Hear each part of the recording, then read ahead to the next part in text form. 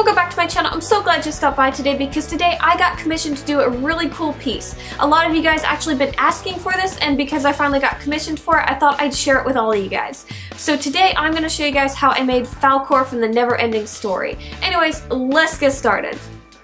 Okay guys, so the first thing I'm going to work on to make our Falkor is going to be the clay pieces. So I'm going to start on the head first and then we'll move on to making the legs.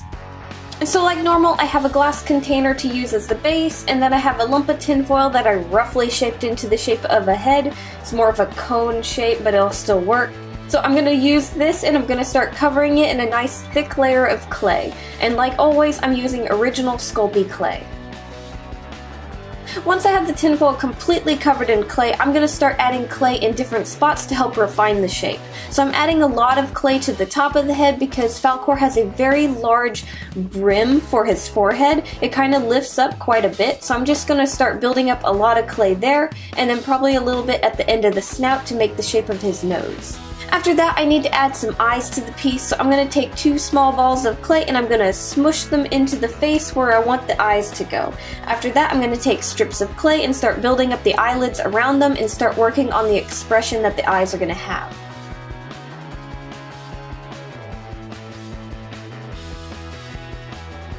After finishing the eyes, I realized I needed to add even more clay to the forehead and the sides of the face. It just didn't have the right shape. It kind of looked like it was caving in a bit, so I'm going to add some clay there and start blending everything together. Okay, I'm finally happy with the shape of the head, so now we can move on to making the mouth. So I'm going to take a strip of clay and I'm going to lay it across the face, make sure it's in a good position, and start blending it in. I'm also going to be using my tools to add a little bit of texture to the face, so I'm just going to be kind of dotting my tool all over the face to create a nice texture. Okay, now for the nose, this took me a little longer than I thought it would because honestly, I thought the nose looked really simple, so I was just gonna throw it on real quick. But after looking at what I did and comparing it to pictures, I realized it was a lot more complicated and it took me a few tries adjusting the clay to get the right shape. So it did take me a little bit longer to get this nose shape than normal. But in the end, I ended up getting a really decent shape for it, and I'm pretty happy with it. Now this was one of those pieces where I really needed to use my references for it, because his face looks actually kind of like it would be easy to make, but it really isn't. If you have just the slightest thing off on his face, it just doesn't look the same. So I did have to go back and adjust the eyes to get him to close just a little bit because he looked kind of bug-eyed. Um, and I had to adjust a few other things like changing the nose multiple times. So if you're working on a piece that is a certain character, I would recommend getting reference pictures and just double checking on them in each step that you're doing. But anyways, I'm really happy with how the face is and I'm going to start moving on to making the feet for Falcor. Okay, so to make Falcor's feet, I needed to make a little wire frame, so this is basically just two pieces of wire. They're each bent into it like a U shape, and one is a little wider than the other. That way I could wrap them together and it looks like some spread toes. So the first thing we need to do is we need to add some claws to our feet. So I'm going to take a little bit of clay and I'm going to put it at the end of each wire. I'm then going to shape it a little bit so it has a slight point to it.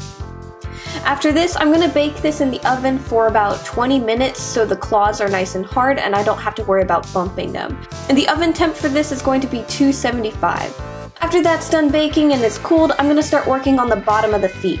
So I'm going to start adding some balls of clay to one side of the wire and I'm going to lay them out to look like paw pads. I'm then going to blend these together and then I'm going to put these in the oven again at 275 Fahrenheit for probably another 20 or 30 minutes, a little bit longer because it's a little thicker. Now again, the reason I'm doing these little pre-bakes in between certain steps is just to make it a lot easier and you don't have to worry about bumping things. So once you're done with the bottom of the foot, it's easier to hold the piece while you're working on the top of the foot. So again, this is out of the oven and it's cooled and we're going to start adding clay to the tops of the feet and we're going to blend them together and start shaping them. Now, Falkor's feet were actually kind of hard to get good reference of. Most of the Googled images that I searched, they mainly focused on showing off his face, and you just kind of got like a side view of his feet every now and again. So I just kind of threw those pictures together and kind of made a good example of what they should look like in full view. But anyways, I'm really happy with how they came out, and I'm going to put these along with the face in the oven at 275 Fahrenheit for probably about 45, maybe 55 minutes. Some of the clay is pretty thick.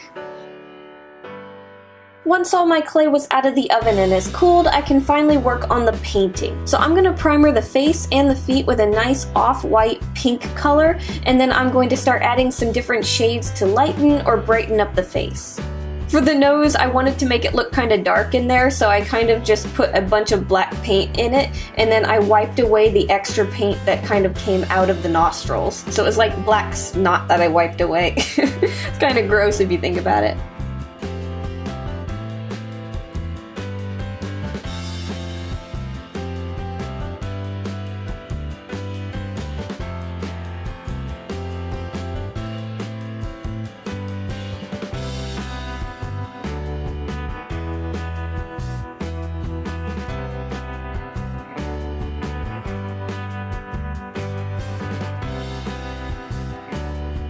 After I was pretty happy with how the face looked, I'm gonna move on to doing the eyes. I figured these would be best to do last, that way I didn't have to worry about bumping them or getting paint on them and having to redo them over and over again.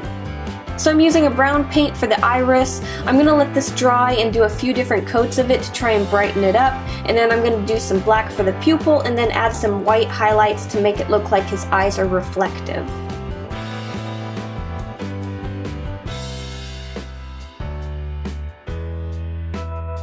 And that's pretty much all the painting for the face. Now moving on to painting the feet. Again, I primered them a pink color ahead of time and then I'm to start using some different colors to add highlights and lowlights.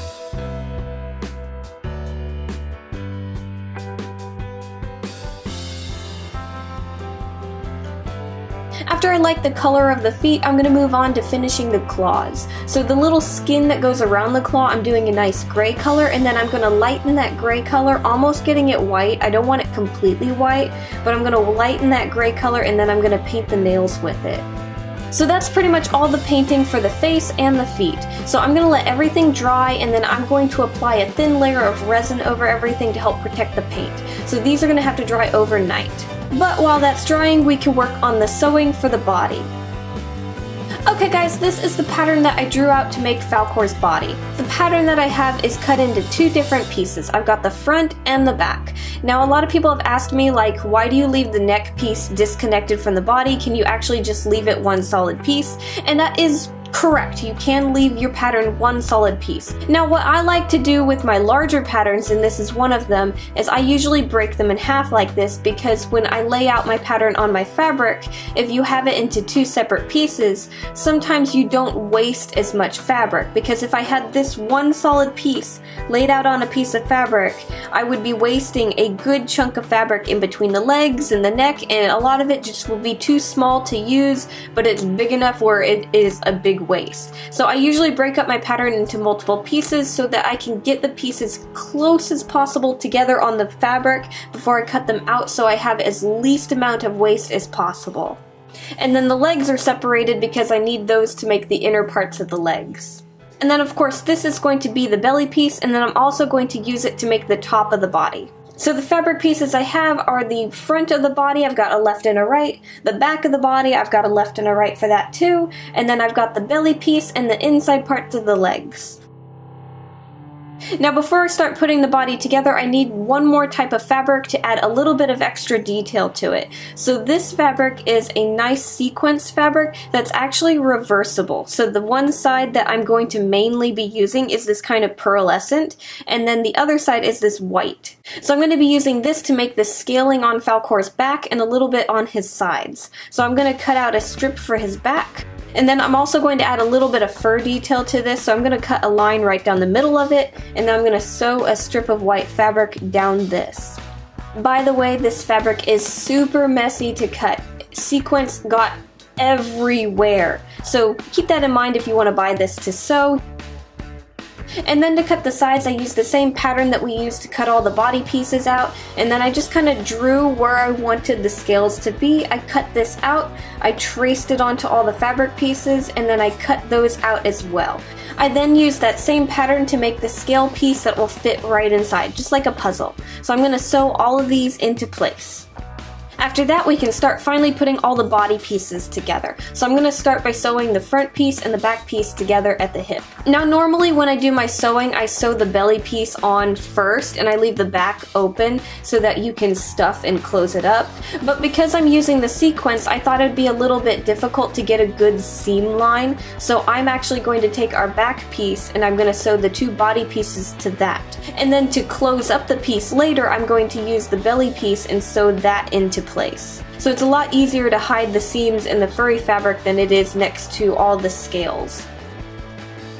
And then the last little bit of sewing for the body until we put everything together, I need to sew the fronts of all the legs. So I'm going to take the inside parts of the legs and the main body and I'm going to put them together and I'm just going to sew right down the front of each leg.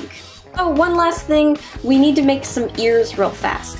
So I just cut out a basic little shape, kind of looks like a little floppy dog ear because it is, and I made four of these. I'm going to take two of them and sandwich them together, sew all the way around, and flip it right side out. I'm going to do that to the other two as well. You won't need to stuff these, you could if you want, but I don't want them to be puffy, I want them to lay kind of flat. Okay, we can finally put everything together. Now I made a basic little wire frame for this and I'm going to attach the legs to the wire frame. The only thing different with this wire frame and most of the ones I used, I reinforced the front wire where the neck is and the front legs because his head's going to be kind of heavy and I wanted to make sure he could actually stand up. So I'm going to connect all the legs to the wire and then we can start adding the fabric to the body. So I'm going to lay our wire frame onto the fabric body and I'm going to use a combination of hot glue and E6000 glue to attach the fur all the way around the base of the hands and feet.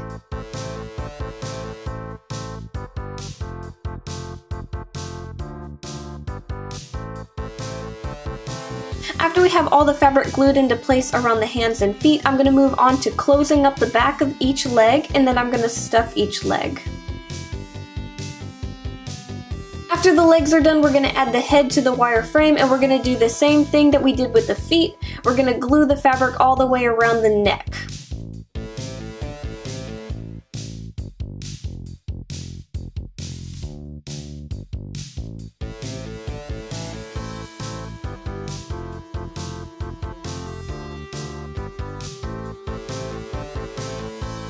We're going to also be taking the belly piece now and we're going to glue that to the bottom of the neck.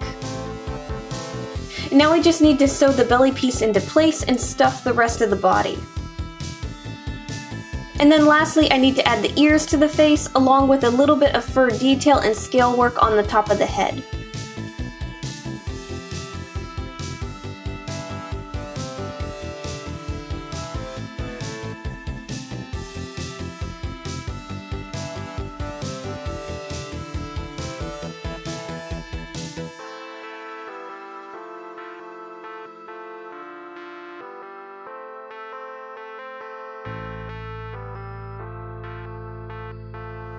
Okay guys, and that's how I did Falcor from the Never Ending Story. I had so much fun with him and I can't wait to ship him off to his new home.